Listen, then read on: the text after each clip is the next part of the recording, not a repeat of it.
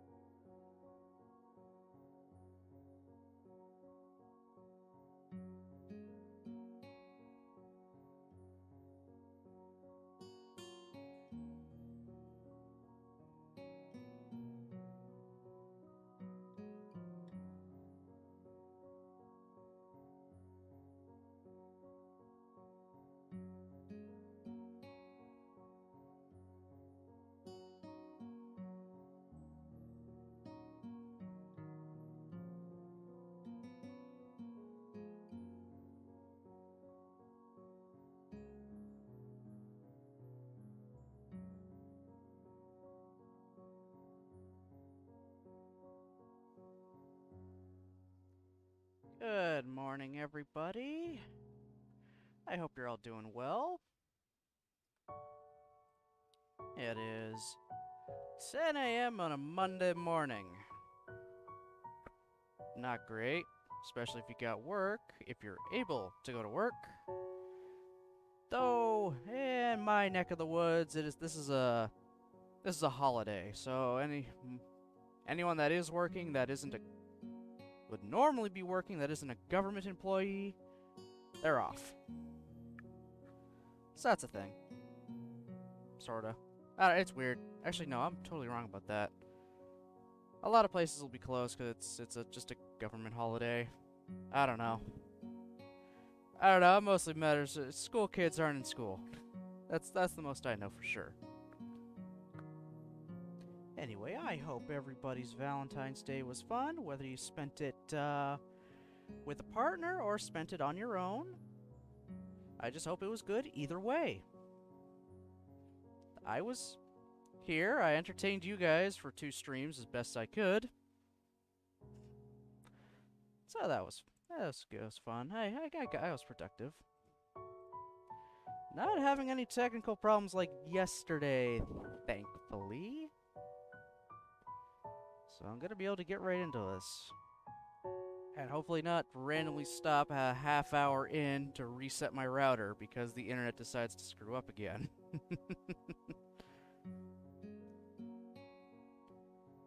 yeah, if you notice, uh, our homepage our homepage here for the game has changed a little.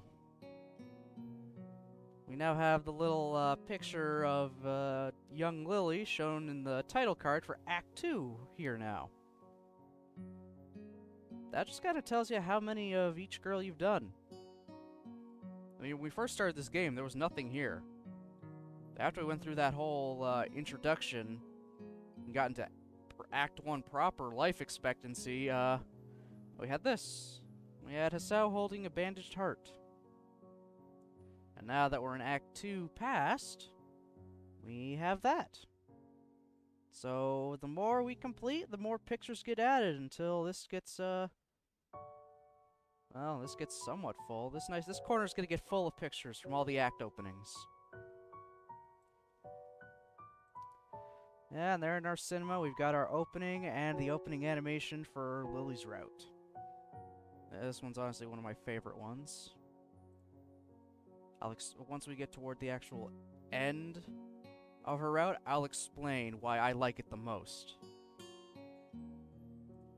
Let's see, what do we got on the jukebox? Oh, we still we got Mo. We got a good chunk of the tracks now. Which is nice. Gallery. Yeah, we got a few more. Compared to last time. Not a whole lot. Got a few more. Generally one with each girl appearing at some point. Like there's one with Emi. There's one with Hanako. One with Lilly. Rin. That's just the double splash of uh, Lilly and Shizune. Yeah, if there's if there's just pictures of the solitary character, generally that's the start of their pictures for their route. So essentially, right after, like with this picture of Hanako, right after this would all be pictures from her route. And the single image of Lilly, uh, same concept.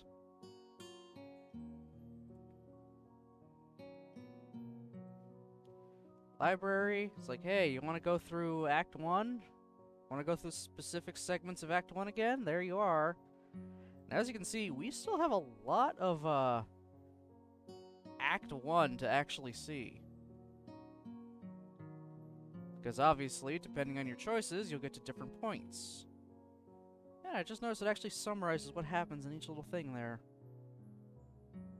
Like in our prologue, on a cold snowy day, Hisao's dreams are about to be realized, only to be cut short by a sudden heart attack. So yeah, it gives you a good, nice little, uh, nice little brief summary of what the heck's going on. After trying warning at her stall, Hisao and Lilly Sao takes Lilly to find Hanako. That was the last one we saw before, you know, we started Act 2. And as it says here, we are 15% done. Lilly's got a lot going on.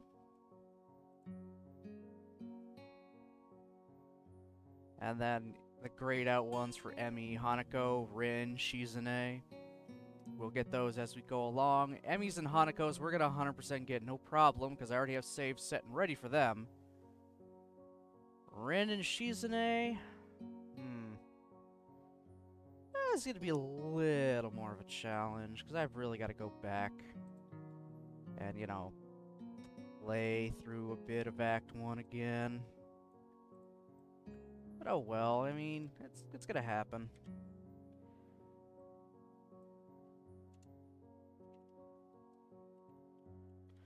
Just gonna do something real quick.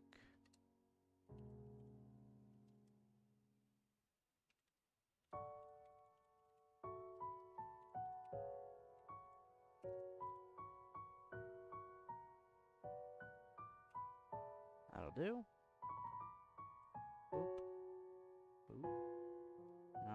Okay. So yeah, we saw through all that. Uh, just all these little tiny little chibis.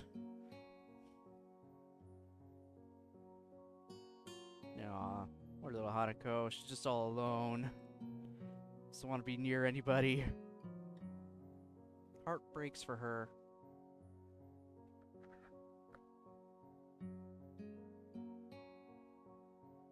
Uh, one moment. I'm just gonna keep messing with some stufferino. There, that'll do. I think. We'll see how it goes. You tell me how it goes, how everything sounds. Alright. Let's load it up. What happened last time? We walked back to the school with Lilly and Rin, because Rin was just kind of lost. Well, Rin was being Rin. Let's put it simply. She was being herself. and it was from there we decided to go the next day, just the day before the festival, we decided, uh, let's go let's go into town. Maybe we'll find Lilly there. Which we did, and we also ended up meeting her sister, uh, Akira. And then come festival time, we managed to get her away from her stall, find Hanako, and watch the fireworks all together. With Asao kind of coming to a realization that watching the fireworks with the two of them is the happiest he's probably been in a long time. Which is a little, a little bit depressing. But I mean, he did just, he did have a massive life-altering event, so... He, he's gonna take what he can get at this point, I think. Any little, any little bit of happiness he can get, he's gonna latch onto. But that kind of goes for everybody. Every little bit we can get, it adds up in the long run. So, alright, we're now waking up at uh, the next day after the festival.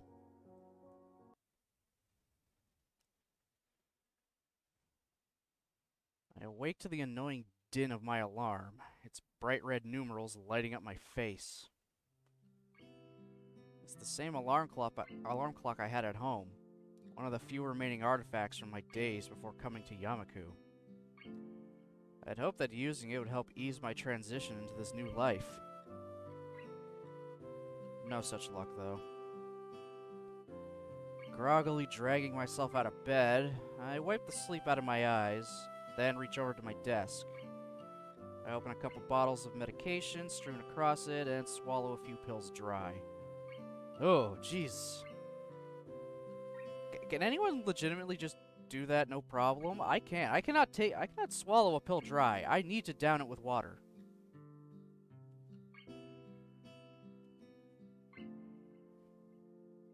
By now, the process is starting to become automatic. Something I should be glad for, given their purpose. Feeling much more awake than before, I wander into the bathroom. While the shower warms up, my mind begins to wander as my new daily routine begins once again. bright colors of the fireworks fill my mind, as do the two girls with whom I spent my time watching them.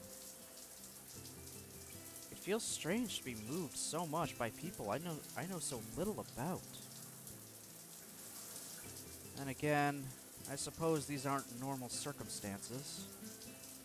At least I have someone to talk to now, aside from my schoolmate next door, Kenji. the time left before school begins today waning, I begin to get ready for class. Walking through the door into the classroom, I notice that I'm still somewhat early. See about five or six students milling around, most of them looking as if they'd rather be in, still in bed. It's at, time it's at times like this that I appreciate being a morning person. That said, two students in particular seem to seem just as perky as always. Hey, Shizune. Eh? Hi, Misha. I suddenly realized that my greeting would be lost on the former, so I quickly followed up with a wave. She doesn't seem overly bothered. Or interested, for that matter.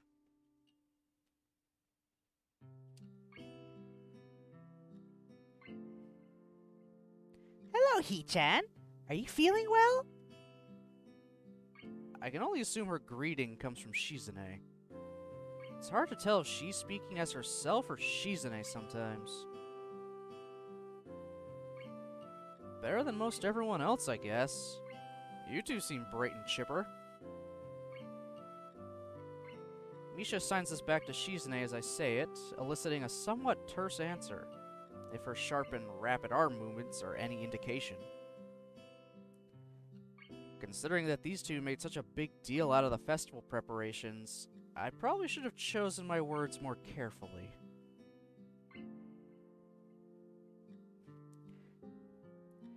Since you're a new student, we've been cutting you some slack. Please don't expect this kind of task dodging to be allowed in the future. Misha looks as if she's about to add her own comment, but quickly goes back to interpreting as Shizune continues, unabated. While your contribution to Class 3-2 stall is appreciated... Huh. Word sure got around quickly. That or these two have their fingers on the pulse of the school. We would have preferred your efforts be focused on the task at hand. Namely, your own class. As much as I hate to admit it, they do have a point. Before I can respond, though, Shizune adds something more, which draws a smile from Misha. Did you enjoy the festival then? Lecture over, I guess. Yeah, it was good. Did you two enjoy it? Shizune gives a short nod as Misha grins and bounces her head up and down. The contrast, side by side, is amusing. Out of the corner of my eye, I notice more students starting to trickle into the classroom. A quick glance at my watch confirms that they're a few minutes late. Look over to Hanako's seat and realize she's already there and contentedly reading a book. Makes me wonder just how long she's been there without me noticing. heavy footsteps coming up the hallway, signaling Muto's arrival, our idle talking comes to an end, and I take a seat next to Misha. As the door slides open, he strides through with a ponderous gait. His posture is even worse than usual. His eyes are barely staying open. Guess my quip to Lilly and Hanako about the staff was misplaced. Everyone opens their books as he reaches his desk, and the first class, the new week begins.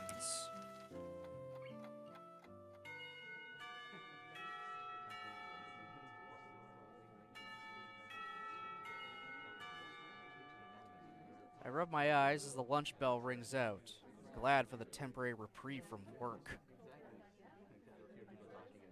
I'm entirely unsurprised when I look over to the door and see Lilly standing there, cane in hand, patiently waiting for Hanako. Considering her acceptance of my request to join them yesterday, I decided to spend my lunchtime with them rather than eat alone. Hanako moves surprisingly fast to meet her companion, and the two enter the hallway before I can catch up. Lilly's head turns slightly, registering the sound of footsteps behind her. As Hanako notices and follows her lead, she almost jumps in surprise. Hi- Hisao?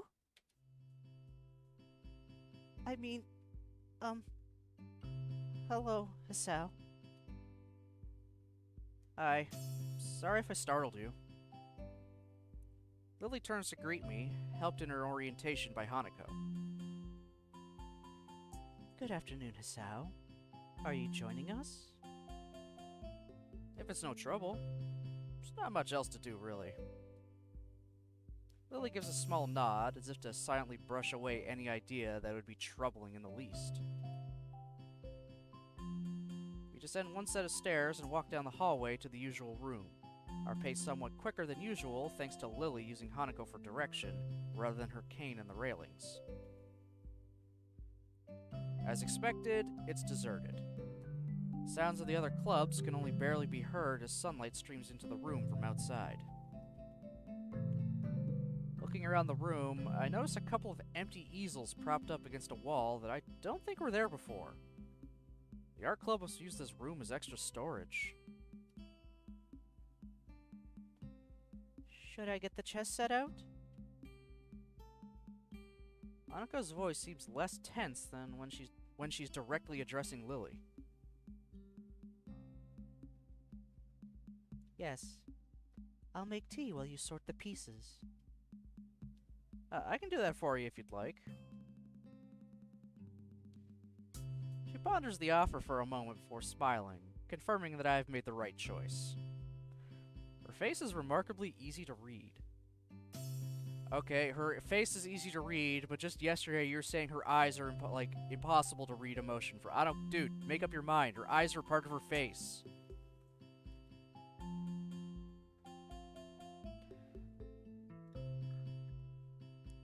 Very well. Thank you. She slides her retracted cane into the handle of her bag and sets it against one of the table legs before taking a seat opposite Hanako. As I prepare tea for the three of us, I can hear the small wooden pieces being set up set on the board. I wonder how good Lilly is at chess, given her circumstances. By the time I place the steaming teacups onto the table, Lilly and Hanako have already moved their first pieces as they nibble on sandwiches and rice balls from their respective bags. I note that the chessboard they're using has holes in the middle of each square and pegs on the bottom of the pieces, and each has a dark and each dark square is slightly raised. One moment, my pupper wants out of the room.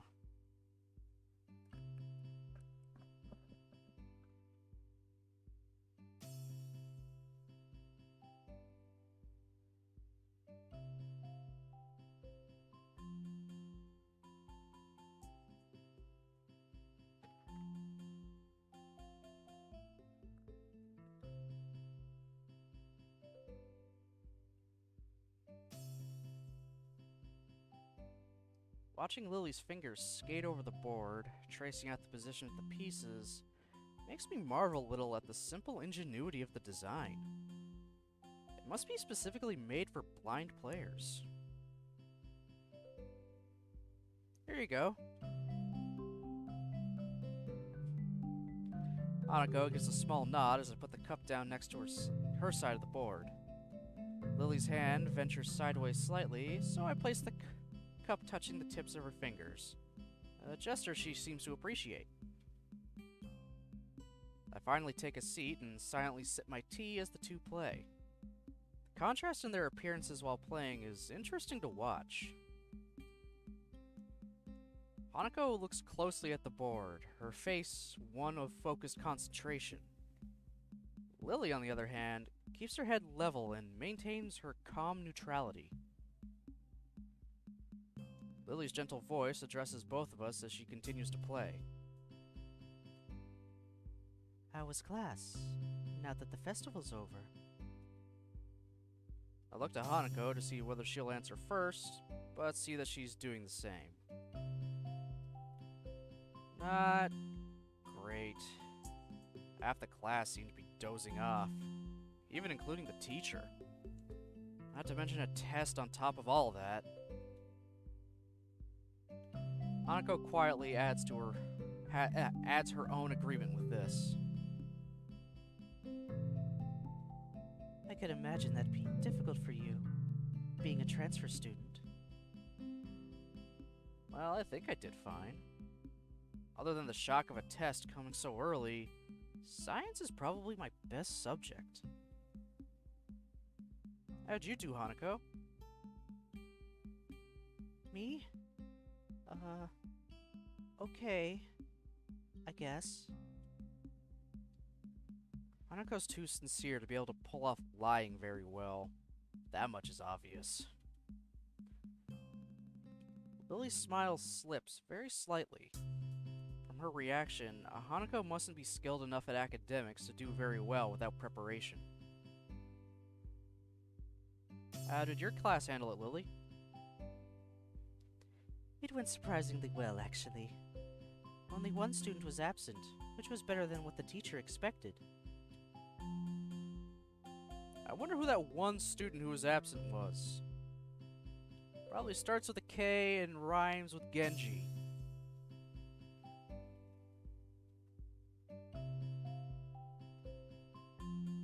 The topic all but run dry, the two concentrate on their chess game once again. Can't say I've ever liked the idea of chess as a spectator sport, but given its unique nature, for once I'm wrapped in watching the game unfold. As time wears on, both of them demonstrate decent skill at playing the game. Having captured two more pawns than Hanako, Lilly has the upper hand, but only slightly. Until Hanako makes a strange move with her queen. Seizing upon this lapse in judgment, Lilly takes the, takes the piece with her knight.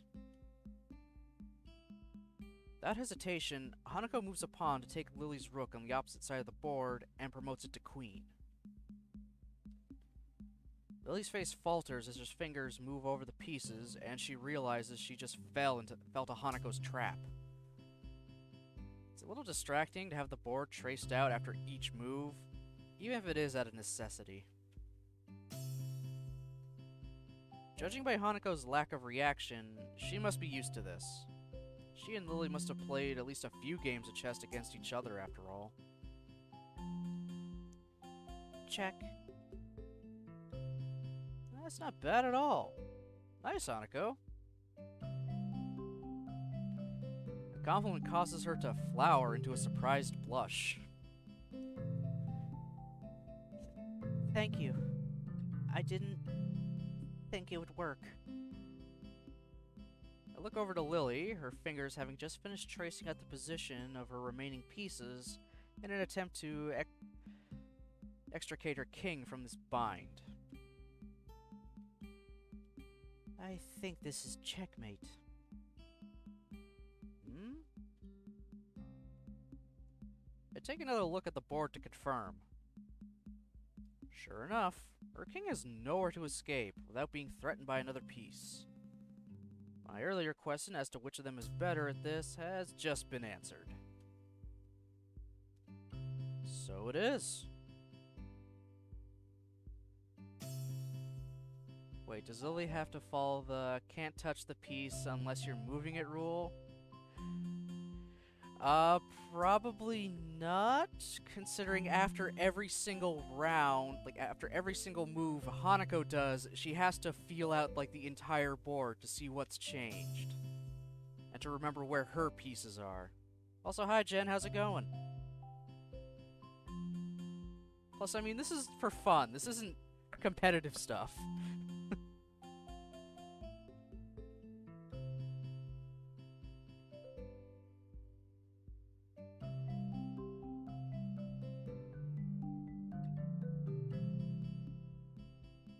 Gives a small sigh as Hanako smiles.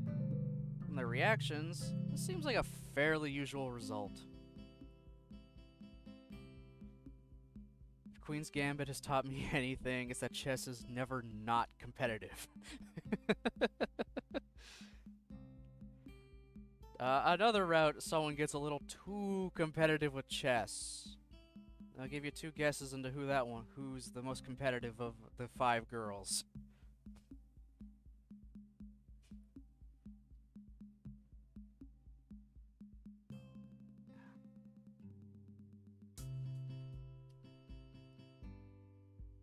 How long have you two been playing? Yes, the deaf one. She takes everything as a competition. Yeah, she's an A. Yep. She's an A, the deaf one. Super competitive in literally every aspect of her life. Copying stuff down on the board, gotta do it first. Gotta get all the yeah, classwork up on the board, get it done first. Put trash in the garbage can, get it done first. No mercy from her.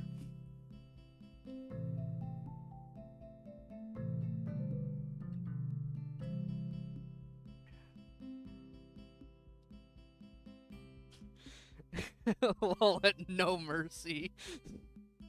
well, we eventually get to Shizune's route. Uh, you'll see what kind of you'll see exactly what kind of person she is.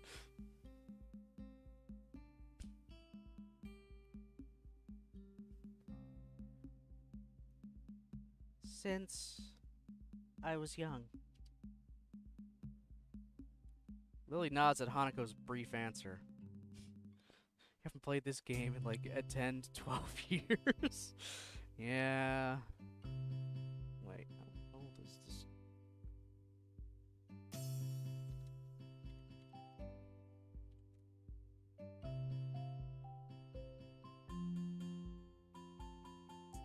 Uh, as of this year, actually, the game is actually only 9 years old.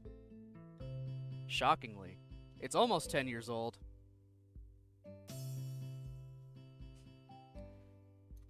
First real visual novel, though.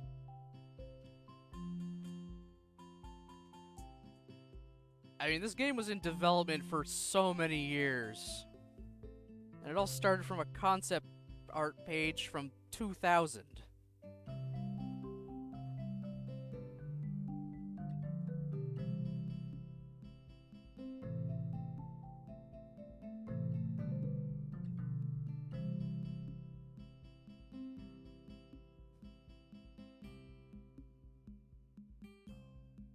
Nods at Hanako's brief answer. Hanako taught me how to play soon after I met her.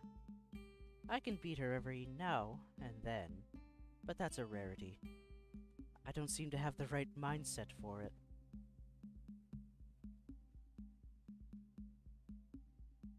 Yeah, you definitely would have been in uni by then. Still, I, I, I still enjoy the hell out of this, and I only played it like less than a year ago. So, again, uh, as usual, I'm behind on everything.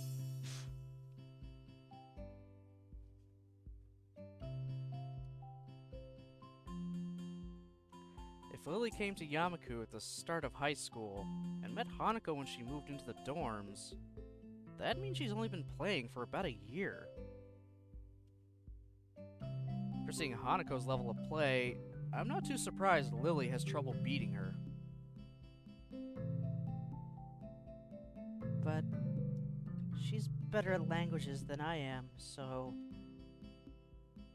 Lilly gives an appreciative, if slightly amused, smile at Hanako's quick reversal of her compliment. well, that's how it is.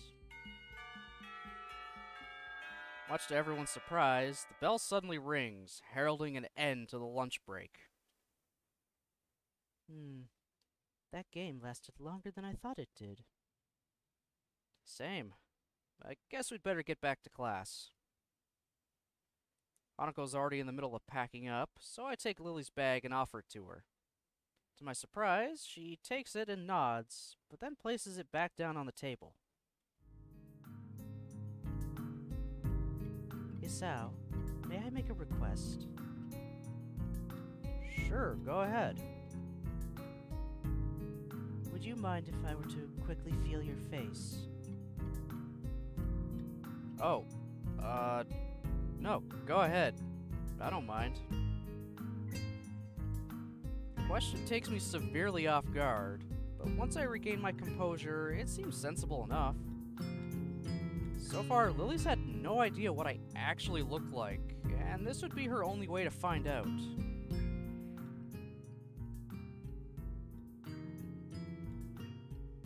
Lilly raises her right hand, which I take in mine and guide to my face before letting go. The room is entirely silent as Lilly's hand moves over and around my features, from my chin to my cheeks to everywhere else. I expect this to feel a lot more disquieting than it does. I suppose that's because the action is entirely a matter of practicality, being functionally no different to simply looking at someone's face. Her hand is soft.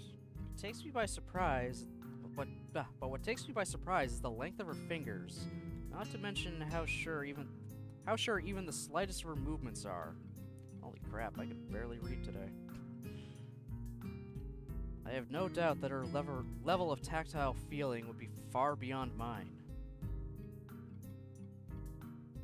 Her hand briefly runs once through my hair before retreating. I'm sure that every inch of my face has been committed to her memory. It's only now, too, that I realize Hanako has been silently watching the entire time. That's gotta be a little awkward.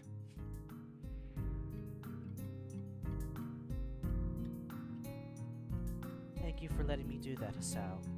And if I might add, I think you're quite handsome. I blush a little at the remark before raising a questioning eyebrow. But if you can't see how. Just because I can't see, that doesn't mean I don't have my own preferences. Um, we'd better go now. Yeah, that's a good point. I guess we'll see you later then, Lilly. Walking through the hallways back to our classrooms, I notice that Hanako seems quieter than before, but also more comfortable. Did you know some blind people are still racist?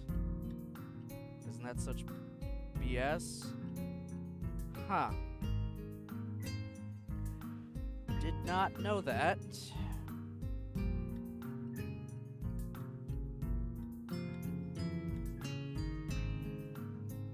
Actually new to me.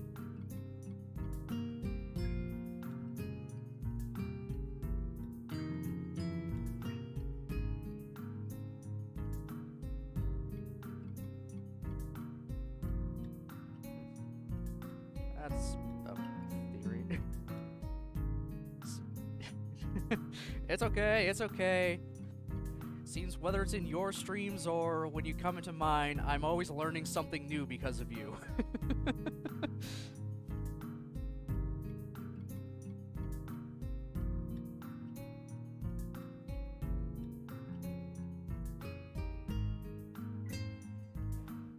Lilly, her hand on Hanako's shoulder, seems to pick up on her assured pace as well, smiling as they walk.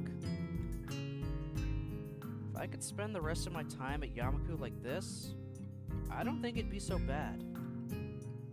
All that's needed for joy are small exchanges of happiness, after all. As I reach my desk and set my bag beside it, I realize something. Or rather, my stomach does. I was so busy with those two, I forgot to buy lunch. Oh, so he just goes the rest of the day without having lunch. Are any of the girls musicians? Um. No, I don't believe so.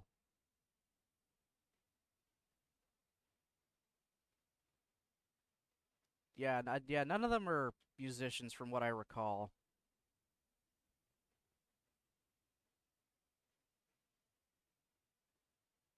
Saturday, my second most favorite day of the week. This is almost entirely due to the fact that it's the day with the second least amount of school, with class ending at the beginning of lunch. I opened my door confidently, myself being more confident of being able to get enjoyment out of the fine weather and shorter class length. I confidently stride down the hallway and down the stairs to the lobby of the male dorms. Will I also confidently open the doors and then confidently strut across the campus to class while confidently humming a tune? Confidently? uh, it's a way too. Confidently was used way too much. God damn it!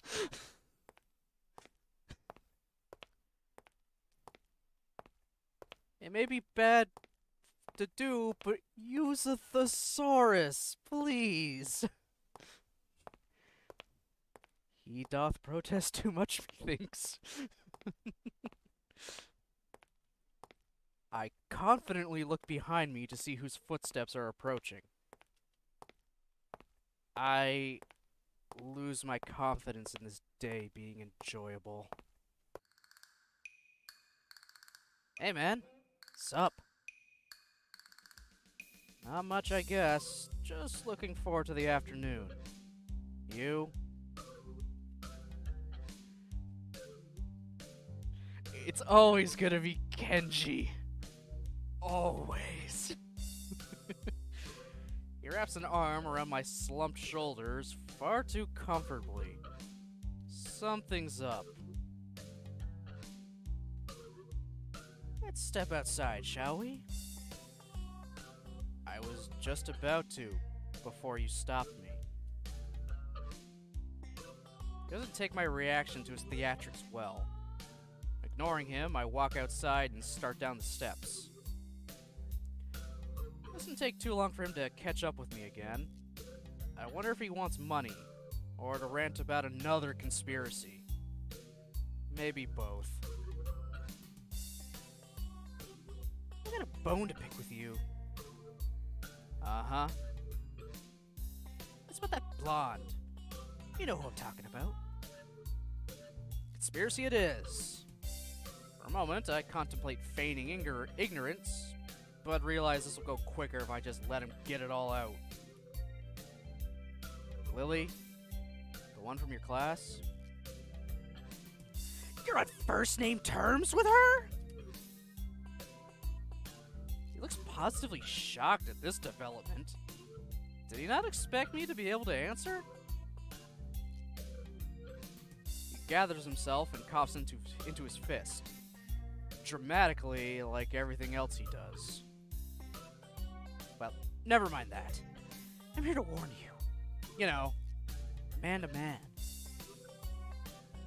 Warn me about what? Lilly? Yeah. You don't know her, man. It's mostly true. I've only known her and Hanako for less than two weeks. And even then, we've just been exchanging banal chant chatter about school as as we while away lunch. Ugh. I'm pretty sure you don't either. That's not the point. You're the one spending inordinate amounts of time with her. It distresses me that someone like Kenji, who's probably as far out of the loop as one could possibly get, knows about such a trivial fact as who I choose to befriend. And yeah, also his theme song is also called Out of the Loop.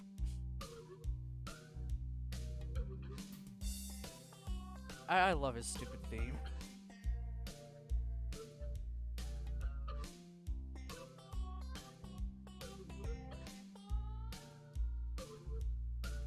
And again, I am a transfer student, and she's not only the representative of their class, but also a tall blonde.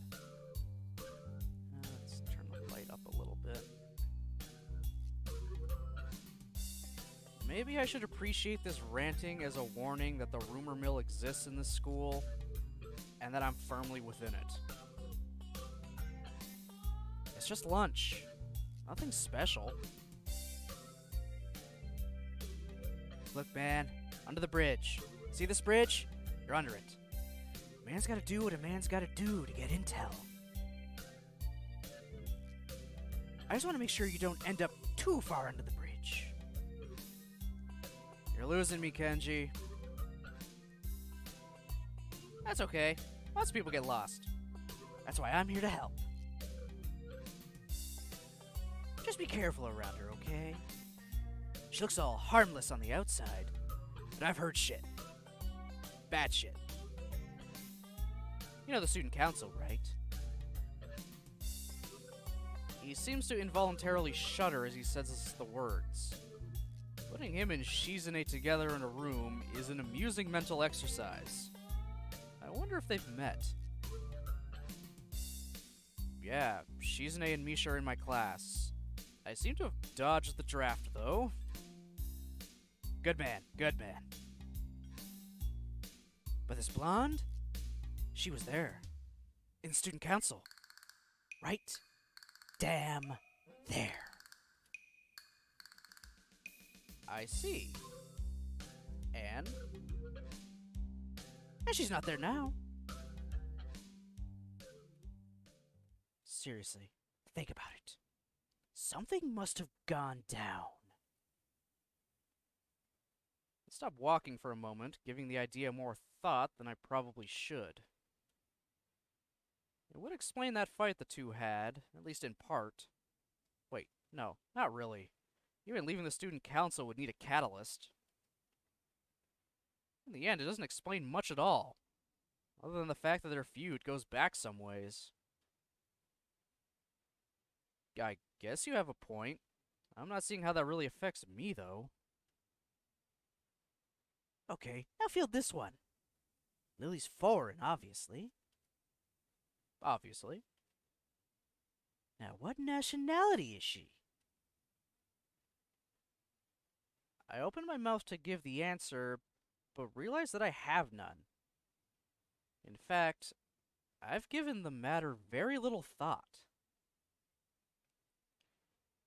Given she has no accent and acts perfectly Japanese, I suppose it never really seemed important. Now that he mentions it, though, I'm rather curious. To be honest, I don't know. Maybe English? They like tea.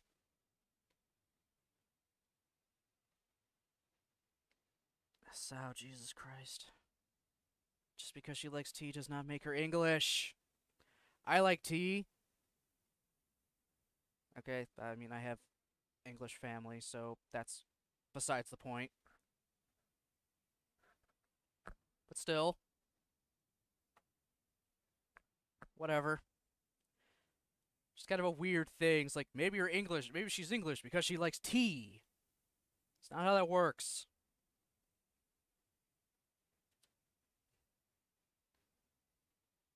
I probably shouldn't resort to stereotypes, but that's the only lead I have. Okay, at least he recognizes it's a stereotype. This doesn't mean you should say it. You're not thinking. Luckily, you have me here to think for you. Gee, thanks.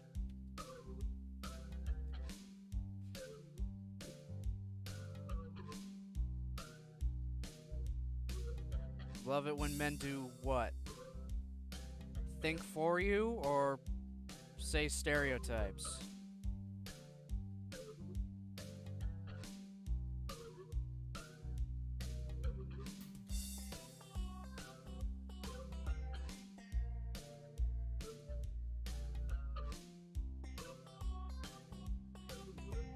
Oh, okay. The thankfully you have me to think for you. Yeah. Yeah. Yeah, that's, that's just, I mean, I can scroll it back. That's what I love about Katawa Shoujo. I can scroll back through it. There we go. You're, yeah, you're not thinking. Luckily, you have me to think for you. So yeah, that, there, that's just something for whenever you ever decide to play this game, whether alone or on stream. You can scroll back the dialogue with the mouse wheel. It'll even, you know, bring the music back and forth too, so it, you know, keeps the mood. I don't know any other visual novels that let you scroll back that easily.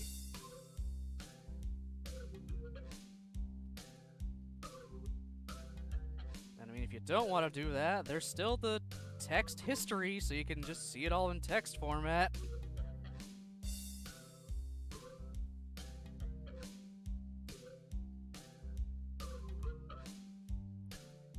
Brushes off the quip effortlessly. Now answer me this. Who has lots of social power is filthy stinking rich. You know, blondes are all rich, right?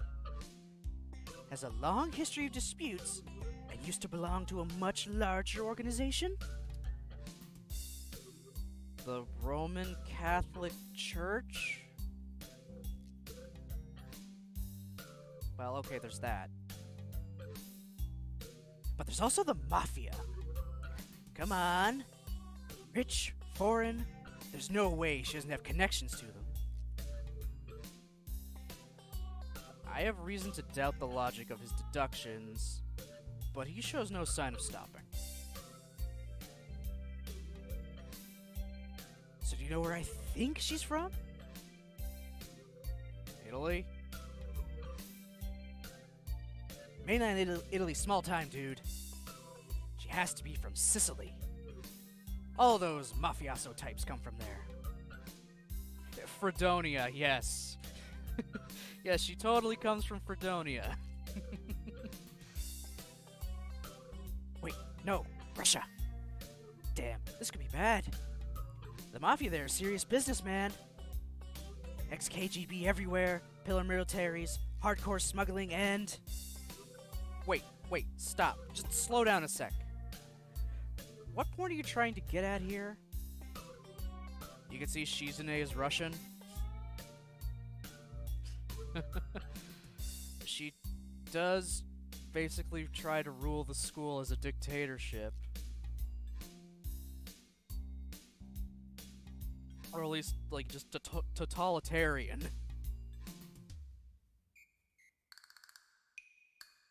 You don't know what she'll do, man. I won't get in your way. Agents don't operate like that. But I just want you to be careful. When the time comes, we'll need all the help we can get. I don't want to lose you, comrade. Well, at least he's concerned for me. Kinda. I wave goodbye to him as we separate to our respective classes, but I'm not sure that he sees the gesture. Piling my books into my bag, I catch a glimpse of the library books I'd borrowed last week. Might as well return them, considering they took all of two days to finish. I briefly consider inviting Hanako along to the library, but she's already gone. It'll probably be better for my studying if I'm alone anyway. With a quick stretch and a wave to a couple of classmates who give the same to me, I make my way out of the classroom. As I open my bag and shove the books through the return slots in the front counter, I hear I notice a strange person behind the desk. Old and graying. She must be Yuko's replacement when she's working at the cafe. I begin looking for a free table, a task made somewhat difficult considering that, despite there not being many students in here, they're all sitting at their own tables. I notice a familiar head of hair. No, noticing a familiar head of hair, I walk over to one near the braille section. It's hard to tell whether Lilly's concentrating hard or not. Her placid expression holding perfectly still as her fingers slide across the dot filled pages of her book. Hi, mind if I sit here? Hmm? Oh, not a pr- no problem at all. She trails off, evidently still focused on her business at hand. Ah, Hisao. She gives a nod of greeting as I sit opposite her at the table. Pluck a chemistry textbook out of my bag and quickly thumb to the chapter we're covering in class. For a while, we sit there and read, each in our own way. Seeing her reminds me of what Kenji said this morning, though. That, and the fact that I've never seen someone read in Braille before, makes me keep throwing glances at her. I kind of feel guilty about it, given that she has no way to realize I'm doing so. So I decide to just ask her about it. Her lineage isn't exactly a state secret after all. And there is another thing I've only just noticed from her movements. Hey Lilly, mind if I ask a question? Not at all. Is anything wrong? I was just wondering. You're at least part foreign, right? She gives a small giggle before setting down her book. I've always been amused at how squeamish people are about that. Akira's mentioned how much she and I look different from most others before. The details are a bit complicated, but I'm half Japanese, half Scottish. Scottish? That's not exactly my first guess. Take some effort to not blurt it out, ah, blurt it out loud. Try to conjure images of the place in my mind. I think as far as the UK goes, Scotland isn't bad to live in, but I'm not really sure. My first guess of England was surprisingly close, at least geographically. That does leave another question, though. But you have no accent? That's where the details begin. I was born and raised in Japan, despite my mother being foreign. Ah, I get it. Hold on. If she moved to the dorms simply due to Akira working longer hours... So they don't live near the school? She gives a small sigh, as if she didn't expect me to go any deeper. Was her previous frankness just a front? Not exactly. It's been a long time since we've actually met. I feel like I'm not getting the whole story, but I don't really want to go unduly prying into her situation. Her about face so she shows she feels some ah, she feels kind of awkward about it. Ugh. I don't know how you do this, Jen. I really don't. I'm tripping over my words a hell of a lot. My wa my mouth is watering to hell's end every time.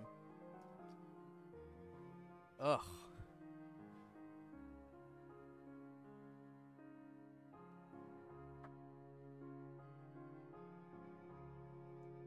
So, do you speak much English?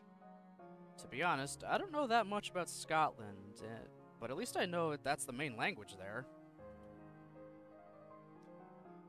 Takes her a moment to collect herself, appreciating the change in topic. That's right.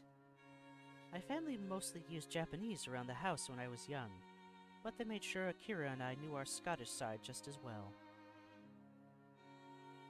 I'm fluent in the language, but I'm also studying it in school. To keep my skills up and to have the qualifications on paper mainly. So you're bilingual? That's pretty impressive. I wouldn't go that far. Having parents who can speak the language is a large advantage, and English books in Braille aren't too hard to buy or import. With Yuko's help, at least. There's a relatively high demand for local English teachers here anyway, which also helps give me some motivation to learn it well. Demand for English teachers? For a moment I wonder why she brought this up. You're planning to be an English teacher? She gives an enthusiastic nod. It must be nice having such a definite future in mind. I've never really given much thought to mine, so I'm kind of envious. Hmm. What's wrong? It's just. I could see you as a teacher pretty easily. It suits you. For a moment, she's speechless. She lowers her face a little and lets out a nervous giggle, something I've never seen her do before. With Lilly's role as a class representative and her dependable nature, teaching does seem to be a line of work fitting her personality. Sorry, that was probably a little much. It is true, though. Waving her hand in front of her face dismissively, she quickly recovers. It's not that. It's just that only one other uh, only one person's ever said that to me before. A short, somewhat awkward silence follows the discussion. Without knowing it, I ended up steering into into a troublesome topic again. I should try to cheer her up a little. It was me who went and got her brooding, after all. Want to go grab lunch at the cafeteria after this? It might perk her up a bit, or at least take her mind off her apparently complicated family situation. Going by her smile, it seems to have the intended effect. I appreciate the thought, but the food there. Quite the quick redirection of the conversation. She does have a point, though. The food there isn't the greatest. Maybe the Shanghai? We could ask Hanako if she wants to come as well. Uh, What is it? I I almost forgot until you reminded me. Hanako's birthday is coming up soon, and I was going to go shopping in the city for a present tomorrow. If that's an invitation, I'd be happy to accompany you. The ability to get more used to the layout of the city would probably be a good thing. I've barely set foot in there, so I'd be hopelessly lost by myself. She gives a nod, signaling that she happily approves of this plan for Sunday. We eventually get back to our books, though before I begin reading again, I steal one last glance at her. Maybe I've been thinking on my situation too much. After all, everybody here would have their own unique circumstances. A chance to get outside and clear my head would probably do me good.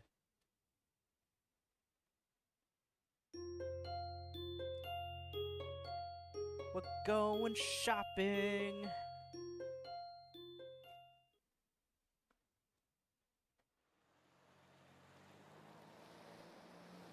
Bored of standing in place and watching the television in a shop window, I pull myself away from that tacky display with little effort.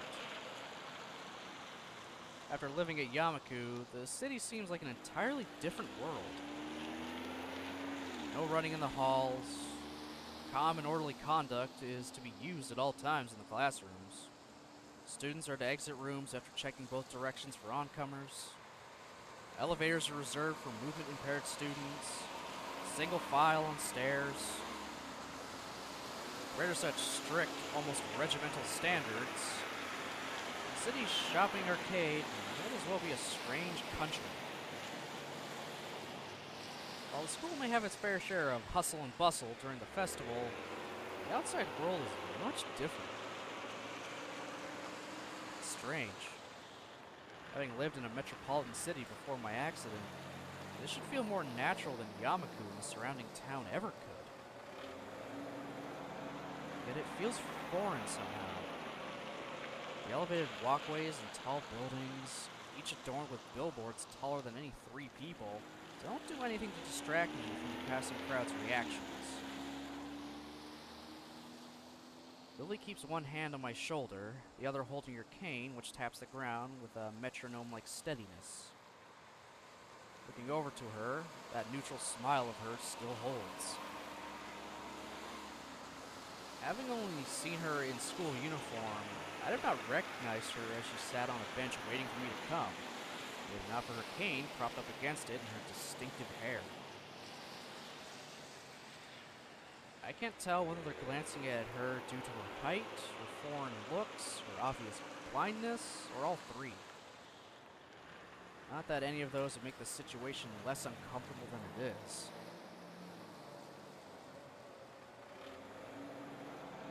Do you have any ideas where to look first, Hisao? A soft voice breaks me out of my line of thought. I can't imagine that she's failing to notice the attention she garners, but she seems unfazed by it. I get the feeling she's the type to enjoy walking outside, so she might be used to it by now. Not really. This is my first time in the city, so I got no idea where to go. She furrows her brow in thought, planning a route for us to take. And come to think of it, a way to communicate it. Something I'd noticed in the time I've been with her is how, when deep in thought, she lacks she lacks close to any form of body language to show it. Expression may change, but not a hint of movement shows. She seems to have little in a way of sweeping physical gestures in general, though, so I've assumed it's part of her reserved nature.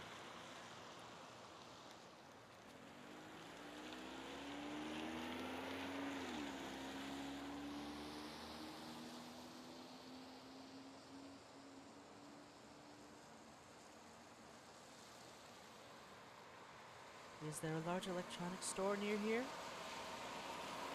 I take a quick look around, finding mostly clothing stores. After a few seconds, I notice a store with a bright blue sign some distance away that fits her description. Yep, it's uh, just a bit ahead of us. Should we go in that direction? Thankfully, it's just the information she needed. With a nod, we start off and head towards Lilly's unknown destination, landmarks being our guide.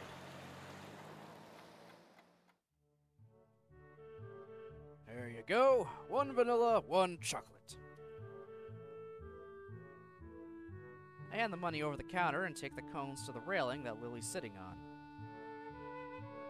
I can't believe I let her trick me like this. She not only led me to an ice cream stall, but also got me to buy her some. At least she gave me the money for hers. Oh no, the girl made me buy ice cream that I will also enjoy. What a shame.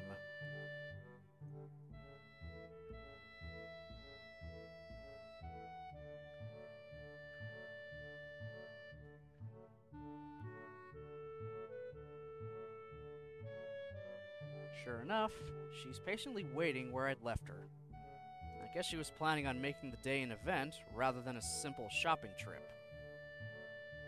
Well, yeah, if you're kind of in the middle of buttfuck nowhere, going into the city, we definitely want to make that a day event.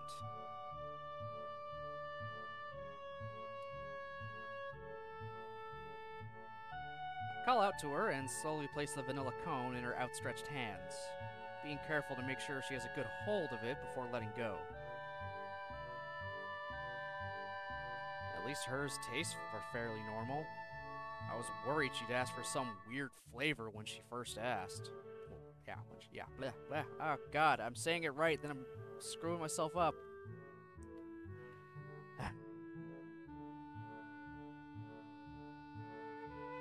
Here's the change. It's okay. Keep it. I moved to protest, but realized the futility of doing so over such a small amount. I slipped the coin into my pocket, supplementing my meager allowance ever so slightly. Yeah, sorry, Hisao, she doesn't want to carry around the one yen coins. Those things are a blight. You get four million of them when you want to get rid of them. Uh, find the nearest vending machine, and uh, hopefully you got enough to make it up, or else you're putting bigger ones in and getting more back. I have so many one yen coins. Oh my god. I hate one yen coins. they are so small, they take up so much space. Ugh. And again, they're worth one yen.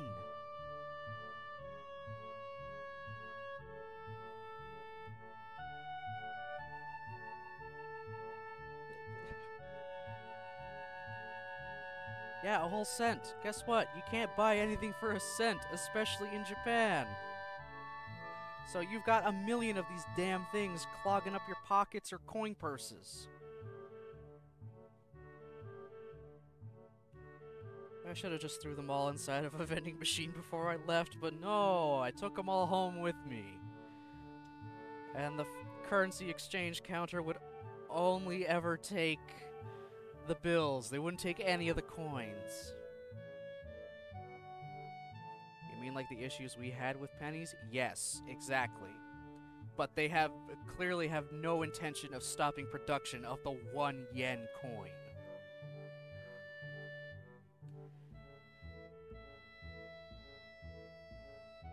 So yeah, there pro tip for when you do eventually go to Japan. Whatever you do, try to use the 1 yen coins in some fashion. Not have little donation things anywhere. Not that we could see, at least not that we were really looking.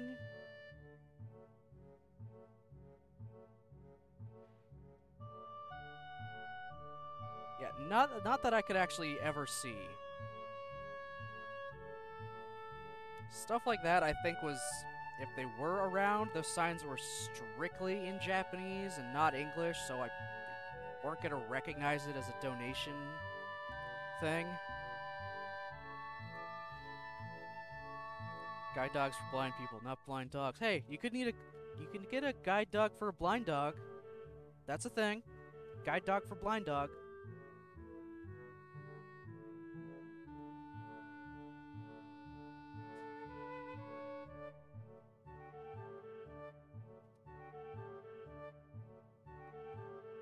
Shows no signs of wanting to get up, so I take a seat beside her and start eating my own ice cream. Summer weather's nice. Hopefully it'll hold out for a while. You too? I'm beginning to think I'm the only person who prefers winter. I contemplate her statement for a long moment. Yeah, I think you might be. Draws the intended reaction. She's cute when she's pouting. Still, I can't really imagine what's so good about winter. Can't go out without bundling up, and you still freeze anyway. Probably also has a bad association with weather because the winter, because that's when he had his heart attack. I would kind of, you know, at least partially associate uh, my massive life changing moment to the time of the year.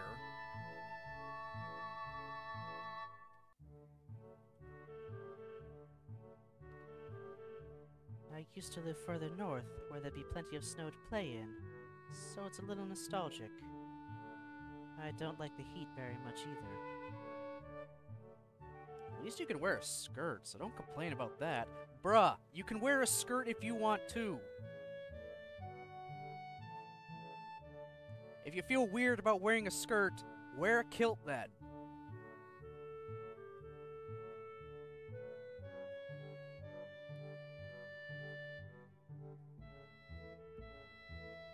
Okay, a skirt is not just, you know, a one gendered item. Anyone can wear anything. Enough with the societal everythings. The supposed societal norms. Fuck that shit.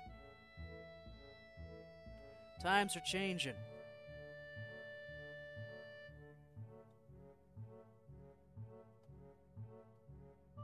I've worn a kilt and it's actually really comfortable.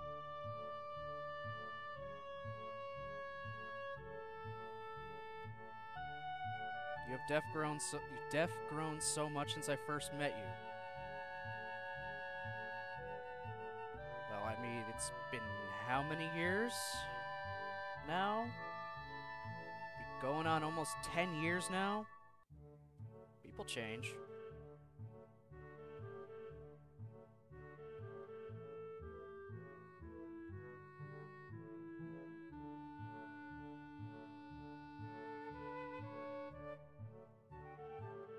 Uh, pretty sure I was in 12B as well.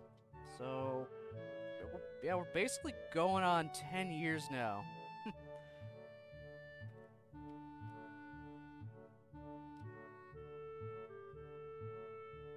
Unless I'm actively trying to change as a person, I'm not exactly proud of the person I was 10 years ago.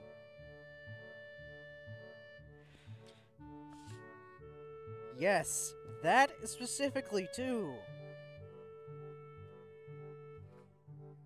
Ah.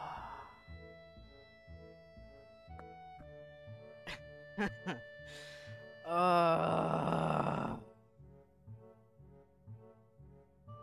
Oh my god. Okay, yes. I freaking said that.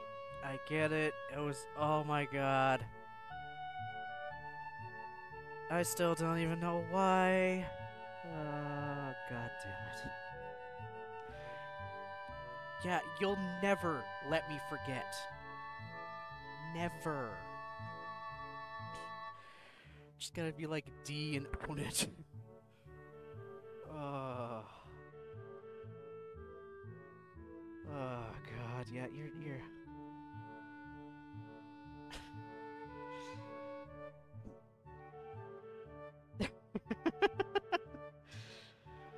No fibs D, everything he says is the truth.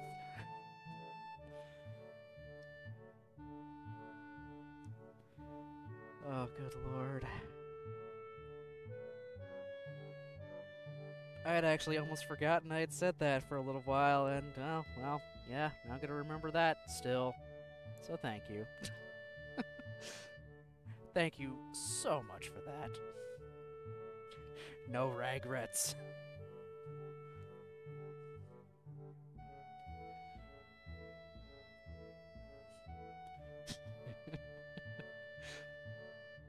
Oh, good lord.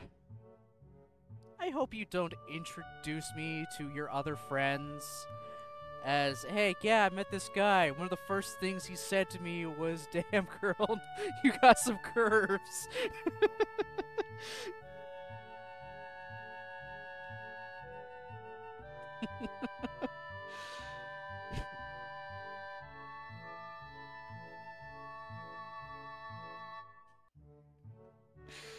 Oh, okay, yeah, I, I, I needed that bit of that laugh.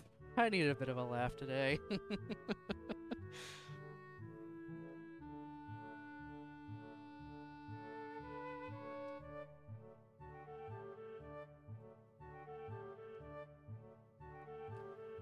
gives an amused giggle as we both get back to finishing off our already melting cones. I idly sit and watch the crowds going by as we eat, catching bits and pieces of conversation. Looking to Lilly, I see her dutifully licking her ice cream from the top downwards, blissfully unaware of the fact it's beginning to melt. It's melting. Where? Um, down a bit? She lowers her mouth from the top of the cone, but has no idea of exactly where the ice cream's dripping. What follows is a game of guiding her left and right until she finally finds it. Appreciate that we don't have a fan shot of her licking the ice cream. Yeah, I, I, I half expected that first time around. Yeah, the CGs they do have are, well, they, they fit fairly well. The only fan service ones are the obvious fan service ones, which I have turned off for stream. For obvious reasons. To any onlooker, what seemed absolutely bizarre. Girl with her eyes closed, turning her cone over and over as the guy next to her gives her instructions. A strange variant of childhood blindfold games, maybe. Okay, we don't even we don't see that. Okay, we see more of a front view and just the focus is more on, you know, her faces she makes. Yet lemons in the shed, I know. God. Ugh. Uh, yeah, yeah, oh, good lord. Don't worry, Emi's will be the next route after this.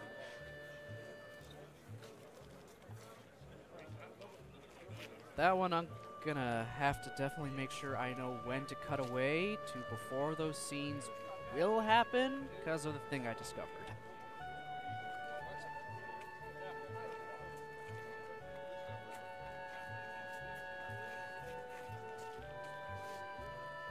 Yeah, eh, the CGs are censored.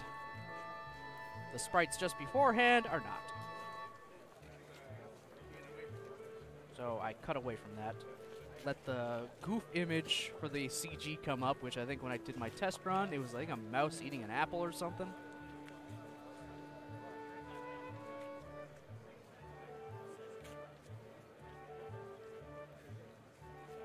There we go.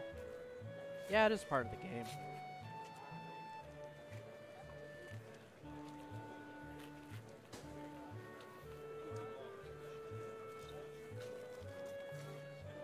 I'll check other people's playthroughs on Twitch just to see if they're up and don't try to cover it in any way. If they don't cover it, I'll leave the screen up as it happens. If they do cut away or cover it in some fashion, I'll do the same. I'll. I mean, I'd rather be safe than sorry if I can.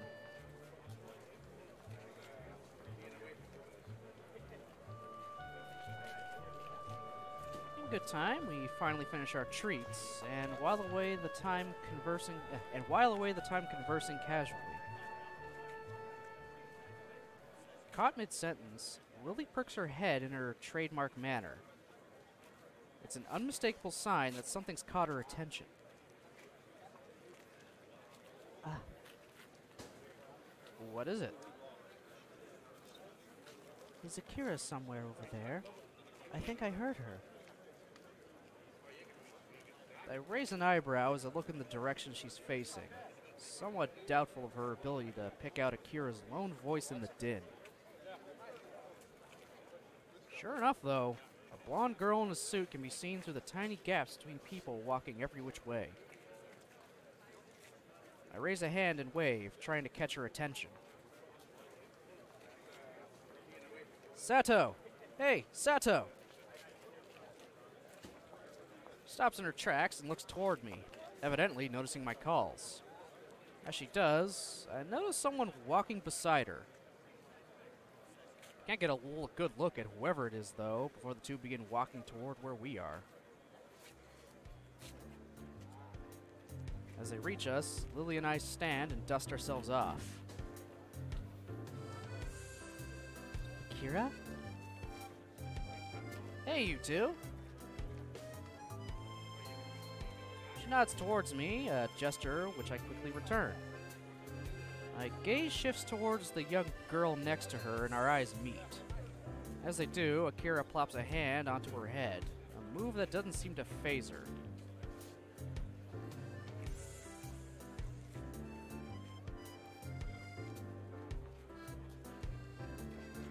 I don't believe we've met. I'm Hideaki. Pleased to meet you, Hisao. Guy's name, huh? Guess I dodged a bullet there. Bow's somewhat restrained by Akira's hand being on his head. Oh. Hideaki's here too? Are you well? Akira's been taking very good care of me, thank you. Akira grins as if to affirm the point and rubs his head hard, dragging it around in a circular motion. Dreary face during this is somewhat amusing. Uncle's out on business again, so I'm taking around the ah, taking around town for today. I'd have preferred to be spending the day on a date with my boyfriend, but Hideaki gives a cough to try and redirect Akira's thoughts. As he does so, though, I find mine wandering. They're related? Further, as first cousins? I, I suppose that explains why she's taking care of him in any case. To think of it, Hideaki, how do you know my name? Kira told me. Being a Yamaku student, I suppose you're disabled in some way? Not everyone in Yamaku is disabled. Which I only learned a handful of days ago. I give silent thanks to Shizune and Misha from their, for their stream of information about how the school works. Because of them, I found out that since the school accepts practically anybody suffering from non mental disabilities, it doesn't discriminate against healthy people either.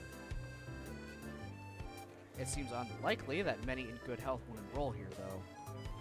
While the standard of education is pretty high, it's extremely isolated and very much focused on helping disabled students. You're dodging the question. Damn, he's sharp. Or I can say another word, though. He decides to take a stab at it himself. If I were to call it myself... Your heart? Kira looks mildly curious at me. Her, intri- her interest peaked as well. That sure was a lucky guess. How did you... You show no missing limbs or deformities, so external disabilities are out. Considering the lack of any strange mannerisms, it's also unlikely you'd have any mental disability. But Yamaku doesn't take mentally disabled students. I know. Leaving that aside, the only possibility left is that of internal disabilities. I didn't know which one you might bear, so I guessed. Correctly, as it turns out. And your reaction confirmed my guess. More than a little bemused, I look to Akira. She grins and shrugs, obviously taking some enjoyment out of her partner's deductions. He's sharp, yes, but more than a little unsympathetic. Logical, but lacking in tact. His attitude reminds me of Shizune in a way, as do his looks. May I ask why you're staring at me? Surely I'm not that unusual a specimen. Does he not know how unusual he looks? I could overlook the spats and clothing as being coincidental, but the ribbon in his hair really is too much. This is entirely besides the point, though. Ah, there's theories about why he dresses the way he does. I'll get into that when we get into Shizune's route in the future.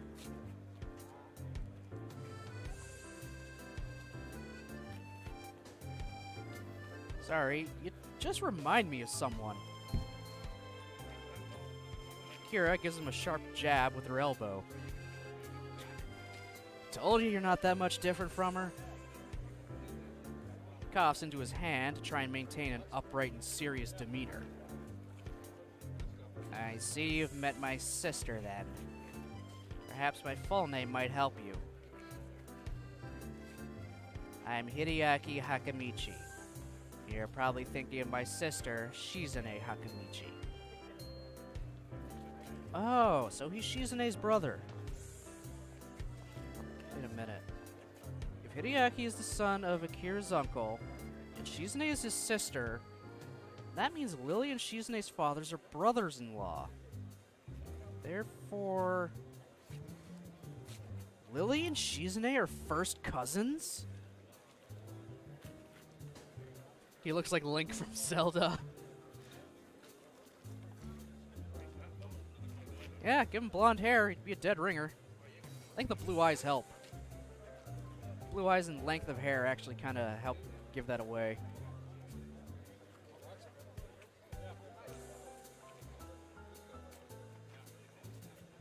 Lilly groans in an uncharacteristically unrestrained manner. The reaction earns an amused smirk from her sister. The enmity between the two just took on another meaning. I thought it was simply a matter of difficulty of communication between the two. But a family feud makes things much more complicated. You can choose your friends, but you can't choose your family. She gives a half-hearted shrug. She mustn't give as much weight to the two's conflict as I do. Well, that's how it is. What are you two up on anyway this fine day? Up to... Ah, what are you two up to anyway on this fine day? Jesus Christ. I, ah! We're shopping for Hanako's birthday present. The day will be coming up soon, so this is the last chance we'll have before school starts again for the week. Kira makes a strange face, as if Lilly had just said that the sky wasn't blue and the clouds not white. Isn't her birthday on the 10th next month? Yes. Why? Is something wrong? Kira's face seems to collapse. It's an utterly unbefitting expression for someone so rowdy and headstrong. Folks didn't call you yet? As Lilly shakes her head cluelessly, I look at Hideaki to see if he knows anything about this. A simple shrug is his only answer. For a moment, Akira ponders what to do before smiling once again. The fact that she can hide her emotions so quickly and efficiently is unsettling. Hey, Shorty. Sorry. Do you hang out with Hisao for a while? He nods and waves her off. Kira placing an arm on Lilly's shoulder as she guides her away and out of earshot.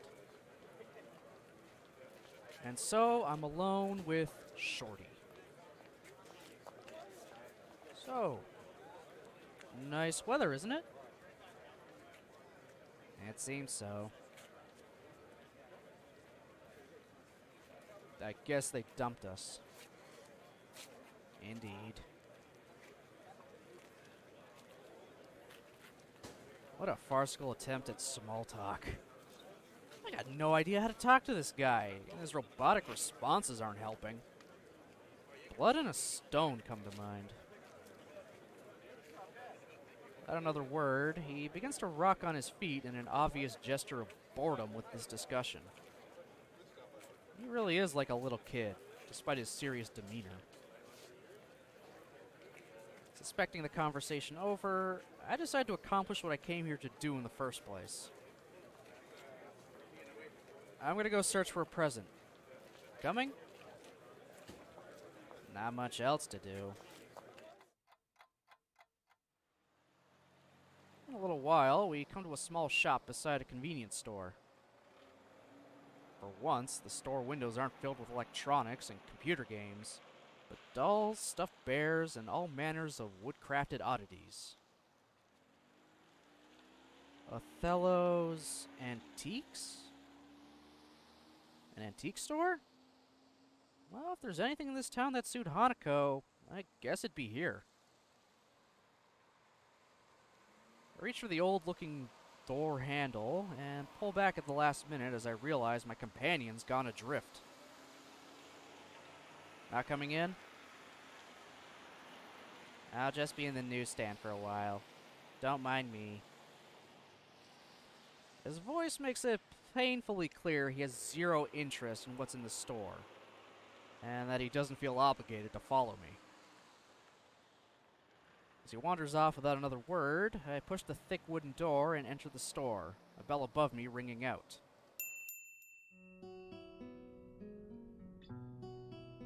Ah, there we go. There's air guitar playing right now, Jen.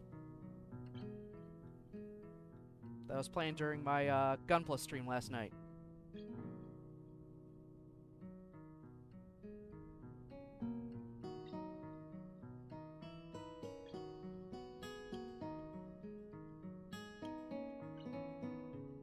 One of the tracks that'll play in every route.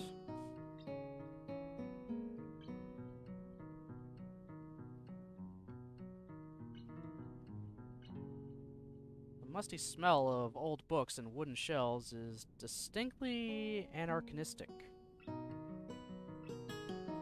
So different from Emi's route so far? Oh yeah. What I have played, the two routes that are somewhat similar, uh, I mean, somewhat, are Lilly and Hanako, just because Hanako and Lilly are together for a long period of time. So they're similar in that regard, but they're still different. They're all still different enough. Hisao is also kind of a different character in each route. He changes a little. Reviews, Japanese school life doesn't really have much of a difference. Oh, that's sad.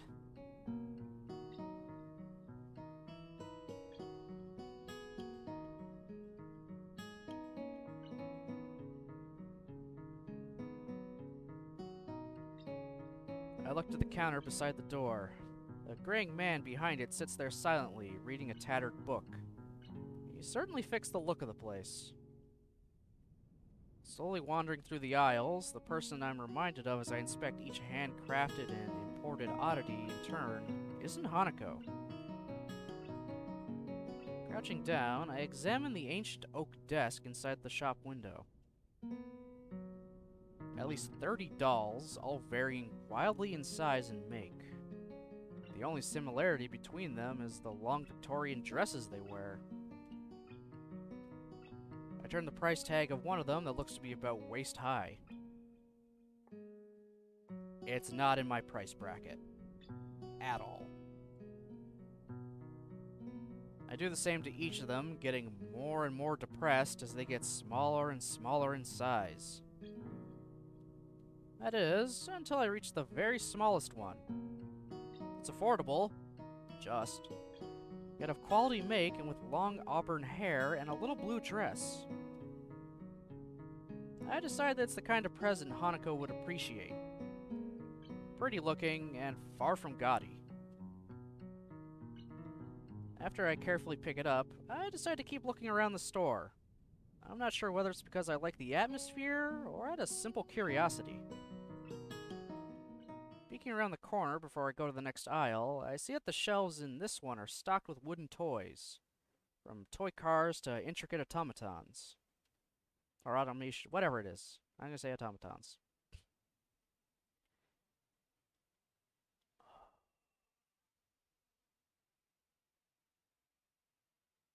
I just have to pause for a moment here. Okay. Tuckered behind a line of nutcrackers, I notice a little plain wooden box. It feels surprisingly light as I pick it up with my free hand.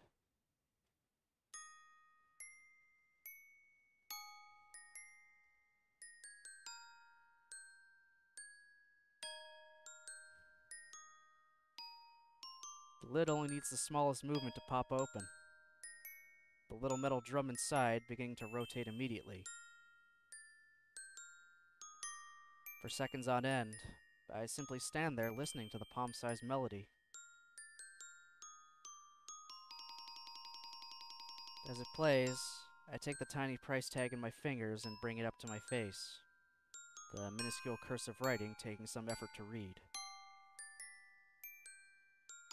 It's affordable. Sort of. Oh, I love this thing.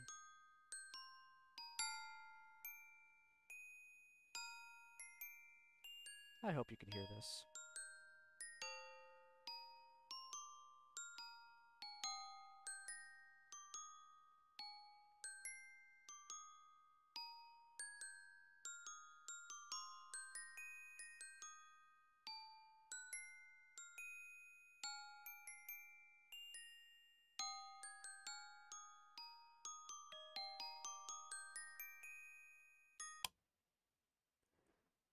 I, love that music box. There's a reason for it, but I love I, I, I like that so much.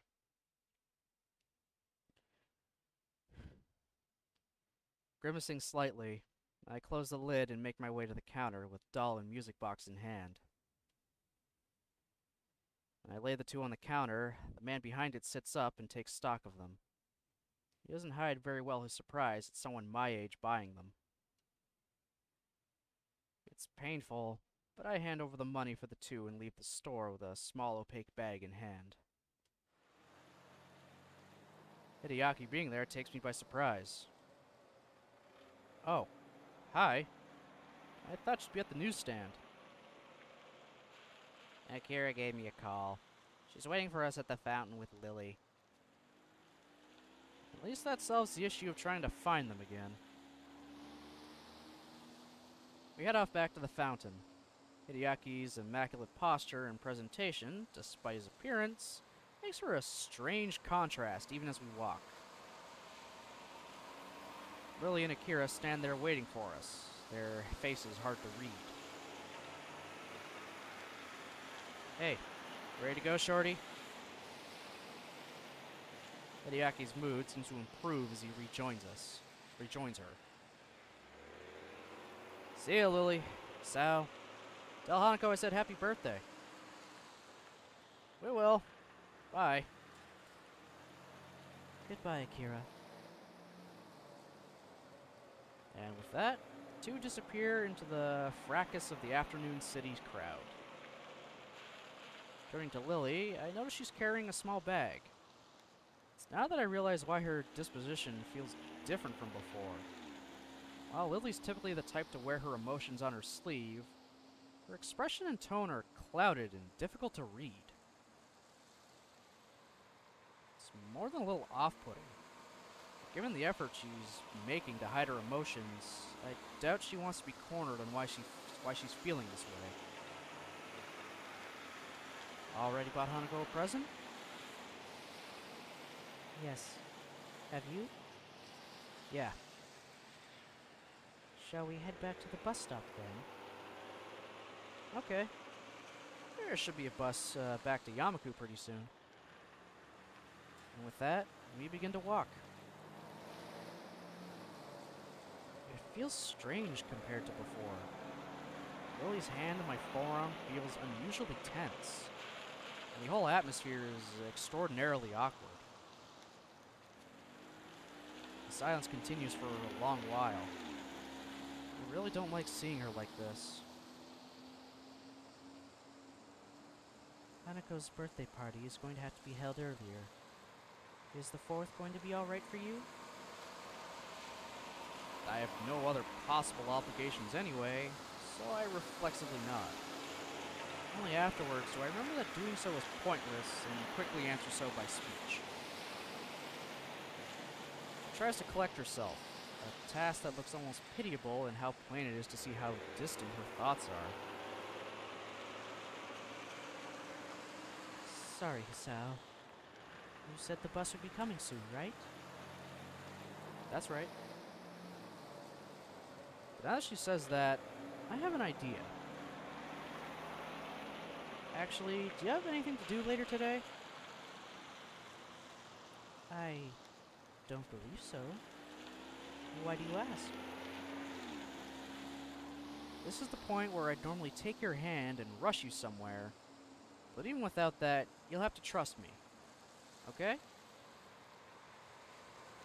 I take her hand and gently lead her on, her distant face replaced by one of mild surprise and curiosity. As the waitress sets uh, the cup of tea and cup of coffee that I'd ordered onto the table, I thank her before she takes her leave. Truth be told, I really lucked out in finding this cafe. I didn't really know where I was going. Rather, I was just looking for any cafe that looked relatively nice. Having managed to recover a little, Lilly tentatively sips at her cup as I take a long gulp of the coffee in front of me. As I hoped, her face lights up as she realizes what flavor it is. Ah, this is wonderful. So, how did you know that this was... I'd asked for French vanilla black tea, hedging my bets that'd be her favorite flavor, or at least one she liked. While I don't really know that much about tea, it sounded like one she might appreciate. On the basis of her liking vanilla ice cream. A tea connoisseur? I am definitely not. That's thoughtful of him. She's having, uh, she clearly something was messing with her, and he just decides, screw it, taking her to a cafe, getting her some tea. Let's end the day off right. exactly, it's the it's the thought. He couldn't just they couldn't just go back to school. He he couldn't leave her in the way she was. He had to do something.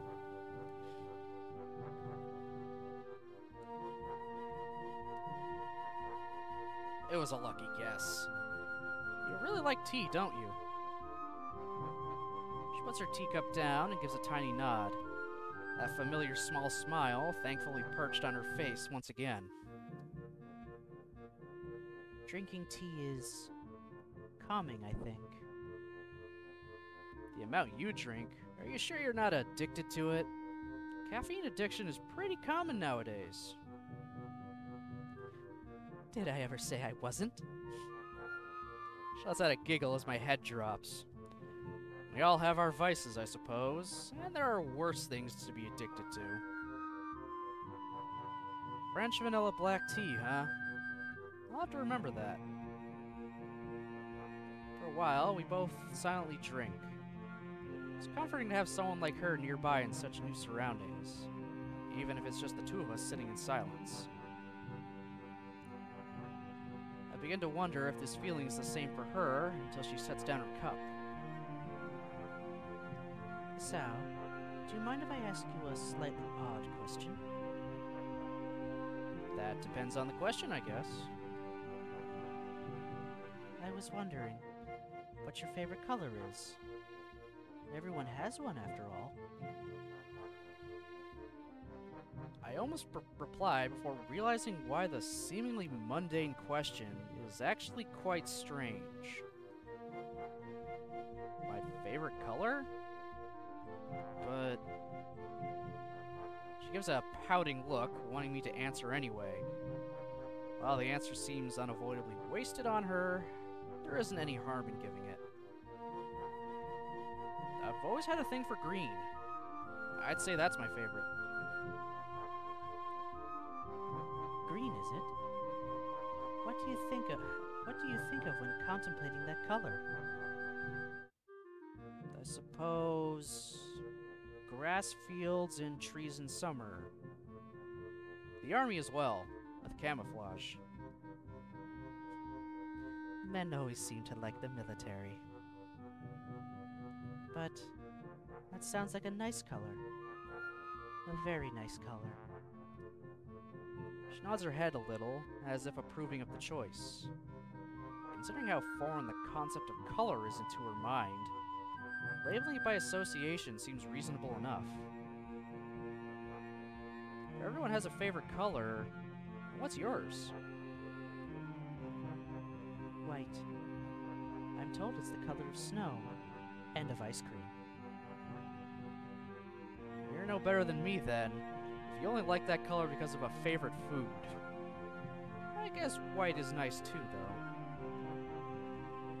And speaking of colors, it'll be getting dark soon. Let me help you up. Lilly offers her hand, which I take in mine to help lever her up from her seat at the table. Its softness compared to mine takes me off guard, as I'm not really used to such casual contact. Seem to bother her at all, though. While it seems fairly obvious why, it feels uh, it it feels like just one more ladylike aspect to her. As her hand moves to her pocket, I quickly cut her off. Don't worry, I'll pay for this. Oh, thank you, Hisao. She gives an earnest smile at the gesture, a reward, a reward much greater than that than that of her words. Words are just words. Actions speak louder than words. She showed she was physically happy. The smile. That, that's what he needed. Mission accomplished, Sao. You did it. You brightened her mood. By the time we step off the bus, it's well and truly dark. We make our way up the hill in silence, both of us behaving a little awkwardly, probably because of the day's events. While I'm still concerned over Lilly's withdrawn nature after meeting with her sister, the fact I managed to cheer her up even slightly feels like a personal victory. But it feels like the air between us has changed. Maybe it's only a bit, but it's something I don't think either of us realized before. That was a date, wasn't it? It was. That doesn't elude either of us, the question's answer being so self evident as to be rhetorical. Awkward as it may be, I don't think this feeling is bad. In fact, quite the opposite. I don't know what it is, I certainly can't be sure, but it feels like something a little more than friendship.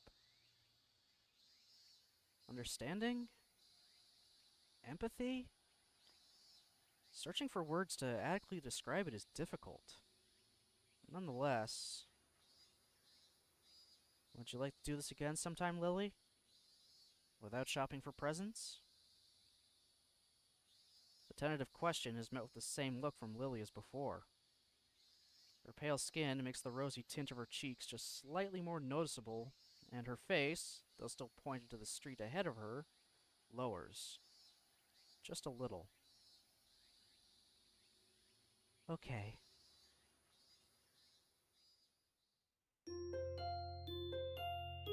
Alright, so she's down with going out on regular dates in, in the near future. Uh,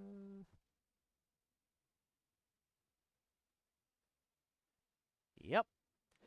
Started as just going to get presents for a mutual friend. Ended with the potential for actual dates. Not bad. Not bad at all, Hassel. I walk down the hall of the girls' dormitories, my school bag in hand. A doll lies inside, carefully placed on top of a small box. I've been carrying the box there for a while now. Still not sure of what to do with it. This whole situation, come to think of it, is bizarre. Well, I've known of Hanako's upcoming birthday party for a while now. I had no idea of exactly what the celebrations would be until I found a single note left in the abandoned tea room earlier today. I hold it up and read it again, double checking the instructions. Plain black handwriting, fairly legible despite Lilly's blindness, clearly thanks to considerable effort and care. Hisao, we'll be holding a party at my place. Please come at 6 o'clock to room 225 in the girls' dormitory. Sorry for notifying you this way, but I have class representative duty duties. Lilly Satou. Not reassured, I continue walking down the hallway until I reach Lilly's dormitory room. I hesitate for a second, but eventually give three sharp taps on the door.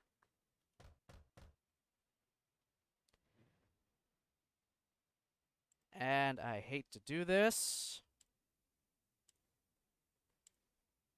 but I'm gonna go through Hanako's birthday party tomorrow. Because I went through a lot today.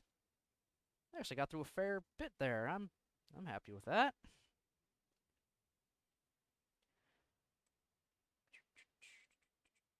Yeah, there's nothing really important here.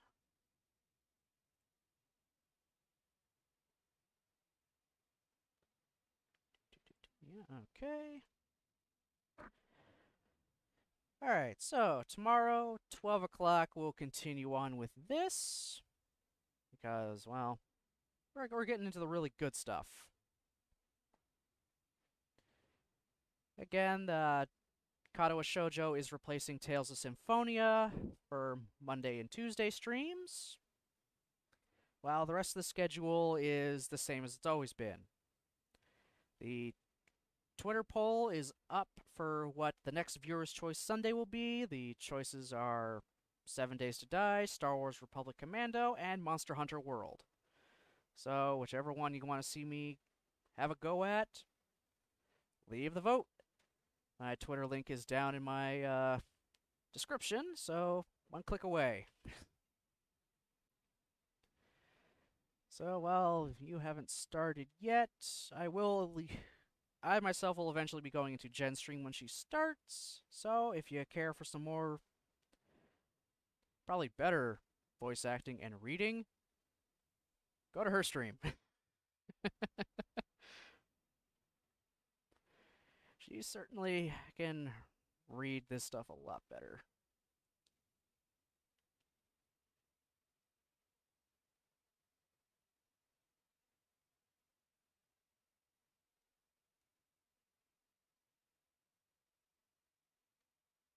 Yeah, and if you are going to be a bit late, uh, the next part will take a long while.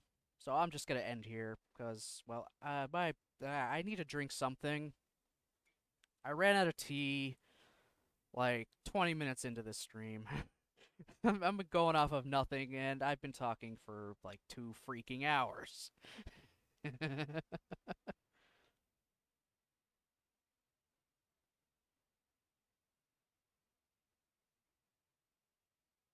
But eating was more important than being punctual? Yes.